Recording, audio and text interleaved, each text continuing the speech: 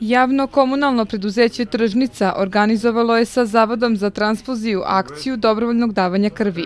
Vršilac dužnosti direktora Tržnice Radovan Milojević kaže da se akciji odazvao veliki broj zaposlenih i da među njima ima onih koji godinama daju krv. Radi se o jednoj nesumnjivo humanitarnoj akciji koja je tradicionalna i e, moja želja da to nastavimo i dalje.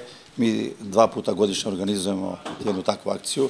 Poziv je dobar prema statistici koju obrađuje Zavod za transfuziju, otprilike od ljudi koji su danas u smenama, odaziv će biti oko 20-25%. Organizatori apeluju na građane da se odazovu ovim akcijama, kako pacijenti ne bi zbog nestašice krvi morali da čekaju na operacije.